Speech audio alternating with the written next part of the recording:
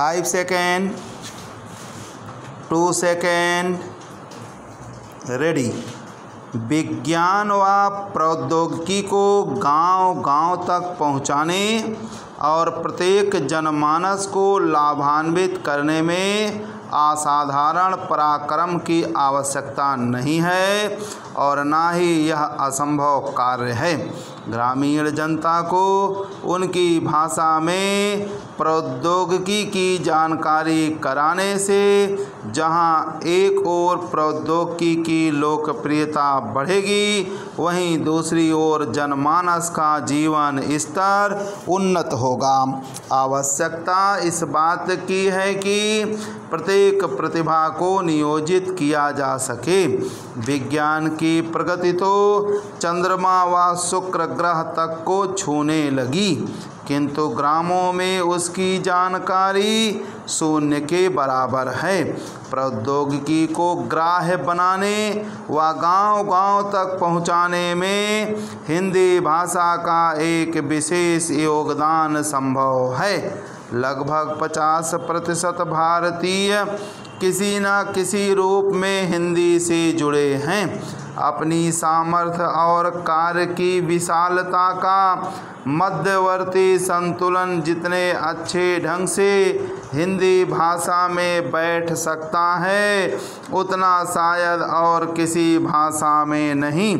विज्ञान व प्रौद्योगिकी के हर विषय को हिंदी में अनेक तर्कों, तथ्यों, प्रमाणों और उदाहरणों के साथ प्रस्तुत करने की क्षमता है। आजकल इंजीनियरी व उच्च शिक्षा राष्ट्रभाषा हिंदी में दी जाने लगी है ताकि विद्यार्थी का मानसिक विकास सुगमता से हो सके और वह विज्ञान व प्रौद्योगिकी का अनुसरण कर सके। भारतवर्ष में जनसंख्या का विस्फोट बरसाती वनस्पतियों के विस्तार की भांति हो रहा है। फलस्वरूप, नागरिकों को रहने के लिए धरती की कमी अनुभव होने लगी है। देहातों में रहने वाले अधिकांश लोग अपनी आजीविका उपार्जन के साधनों एवं प्रौद्योगिकी का लाभ न मिल पाने के कारण शहरों की ओर पलायन करने लगे हैं। दूसरी ओर शहरों की बढ़ती आबादी, वहाँ के निवासियों के लिए विभिन्न संकट उत्पन्न करती जा रही है। ग्रामीण क्षेत्रों में विज्ञान व प्रौद्योगिकी का महत्व अभी तक ठीक तरह से नहीं समझा जा रहा है।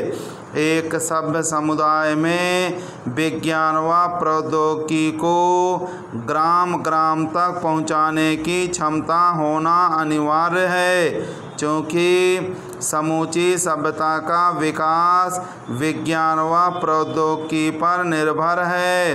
विज्ञान प्रकृति के अविज्ञात रहस्यों का अनुसंधान करने और प्रगति के साधन जुटाने में लगे हैं। प्रौद्योगिकी ही वैज्ञानिक प्रणाली की वह स्थिति है जो आगे बढ़ने और महानता को उजागर करने का मार्ग सुझाती है। दिनचर्या को नियोजित कर सुखमय जीवन व्यतीत करने की कला सिखाती है। वह सर्वोपरि कलाकृति सभी जनमानस को उपलब्ध होनी चाहिए। स्वास्थ्य मनुष्य की प्रबल संपदा है। दुर्भाग्यपूर्ण ही कहना चाहिए कि गाँवों में इस ओर विशेष ध्यान नहीं दिया जाता। वहाँ स्वस्थ जीवन जीने की सतर्कता का पालन करने की कला सिखाई जानी चाहिए, जिससे बीमारी के पनपने व अकाल मृत्यु की संभावना से बचा जा सके। स्वास्थ्य सुरक्षा हेतु तो व्यायाम, खेलकूद व मनोरंजन की जानकारी देना अनिवार्य है। आधुनिक समय में प्रदूषण, नशेबाजी, व्यभिचार आदि की समस्याएँ विभिन्न बीमारियों को जन्म दे रही हैं। बाल विवाह व बहुप्रजनन नारियों के लिए प्राणघातक हो रहा है। स्वास्थ्य रक्षक प्रवृत्तियों के संवर्धन व उन्नत प्रौद्योगिकी के समावेश से बीमारियों से आत्मरक्षा भी संभव है। ग्रामों में बढ़ती हुई जनसंख्या एवं घरों में प्राय शौचालय न होने के कारण गंदगी से भयंकर समस्या उत्पन्न हो रही है। उन्नत प्रौद्योगिकी से सुलभ शौचालय का प्रयोग कर स्वच्छता प्रदान कराई जा सकती है और बीमारियों से भी बचा जा सकता है। पशुपालन के लिए चारागाह लगभग समाप्त होते जा रहे हैं। सूखा चारा पशुओं की क्षमता को घटाता है। पशुओं को उचित आहार, उनको होने वाली बीमारियों एवं उनके उपचारों की जानकारी देना आवश्यक है। पशुओं से श्रम, दूध इत्यादि उपलब्ध होने से व्यक्ति की आमदनी बढ़ती है।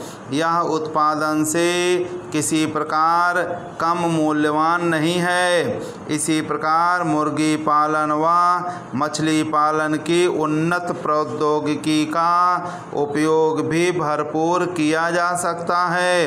उन्नत प्रौद्योगिकी से मिट्टी की उपजाऊ शक्ति का ज्ञान, उचित फ़सल का चयन, उचित किस्म के बीज की उपलब्धि, पौधों में लगने वाली बीमारियों से बचाव कर उन्नत फ़सल और उचित मूल्य उपलब्ध होते हैं। ईंधन की समस्या दिन प्रतिदिन विकट होती जा रही है।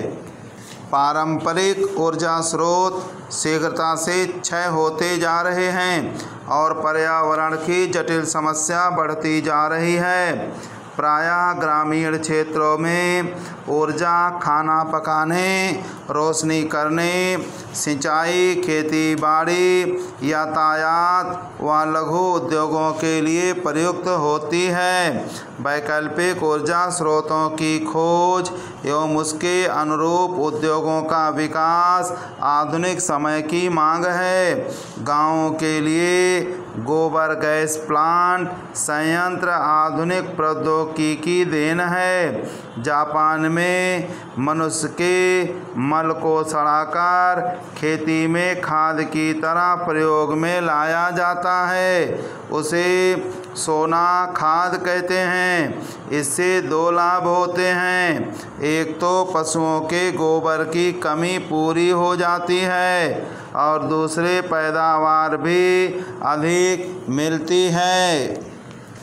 मैं माननीय मंत्री जी से निवेदन करूँगा कि वह बताएँ कि परियोजनाओं के समय पर ना पूरा होने के कारण से राजकोष को कितना नुकसान उठाना पड़ता है। मैं यह भी कहूँगा कि परियोजनाओं का काम समय पर शुरू न होने का कारण मात्र वहाँ अनाधिकृत झुग्गी झोपड़ियाँ हैं। न कि सरकार यह निर्णय कर लेने में समर्थ है कि क्या उनका पुनर्वास किया जाए या उन्हें अन्यत्र भेजा जाए या इस संबंध में कुछ और किया जाए। इन गंदी बस्तियों के कारण सभी तरह की बीमारियाँ हो रही हैं। डेंगू फैलने के बावजूद हमने कुछ नहीं सीखा है। फ्लैग फैलने के बावजूद भी हमने कुछ नहीं सीखा। यही बात दुर्भाग्य से कुछ उन भारतीय वैज्ञानिकों के बारे में भी सही है, जो विदेशों में प्रशिक्षित हुए हैं या जो पश्चिमी ग्रंथों और सिद्धांतों से अपने विचार उधार लेते हैं। लेकिन वैज्ञानिक केवल अपने सहकर्मियों के समुदाय का सदस्य ही नहीं होता, वह नागरिक भी होता है और देश के भविष्य उसे भी लेना देना होता है। अगर अपने लिए नहीं तो अपने बच्चों के लिए। वह अपने आसपास के लोगों और विश्व के प्रति अपने दायित्व से बच नहीं सकता।